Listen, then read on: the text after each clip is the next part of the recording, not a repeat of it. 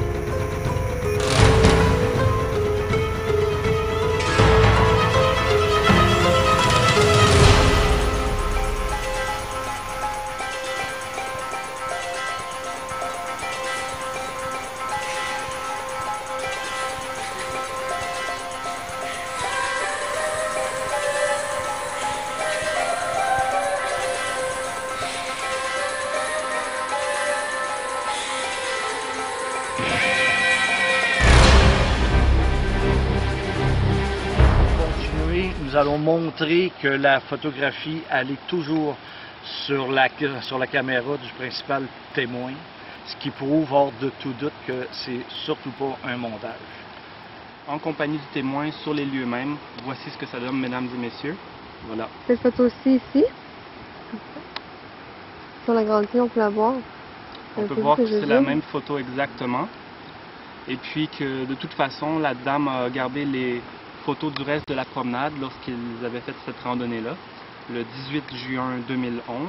Et puis on peut voir le reste des photos de la promenade avec qui elle était, ce qui est quand même une preuve assez manifeste, mon cher Jean. C'est un cas assez probant. Euh, le canular est pratiquement euh, enlevé. Euh, Il n'y a euh, surtout aucun problème là-dessus.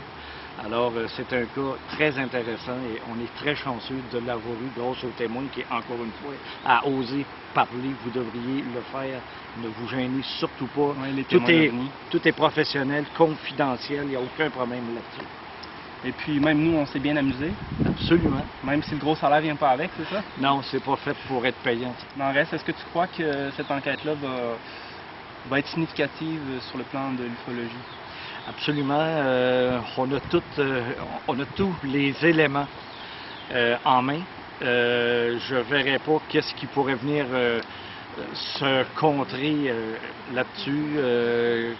Je vois pas pourquoi est-ce que quelqu'un pourrait dire que c'est un canular. C'est pratiquement impossible. C'est pratiquement réduit à zéro. Et ça, c'est très important.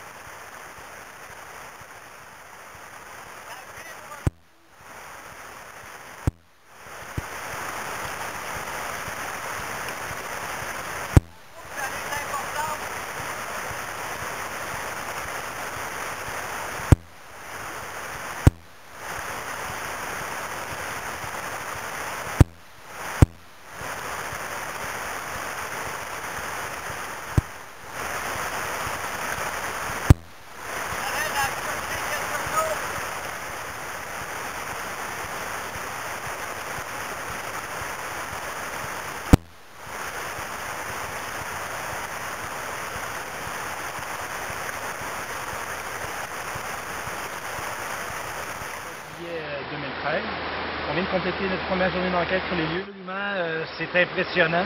Euh, on, on s'est rendu de l'autre côté avec euh, le détecteur. Lui donne une indication générale, alors que l'autre, on appelle ça un pointeur, révèle exactement où est la cible. Et avec ça, on sauve énormément de temps. Et ça nous a permis, ça nous a permis de faire une découverte. Qu'est-ce que c'est? On ne le sait pas encore. Forme qui est quand même pas mal serrée. C'est très sphérique, ça pourrait être euh, beaucoup de choses. Le site en tant que tel, qu'est-ce que ça te fait de nous de, savoir que ça peut probablement attendre?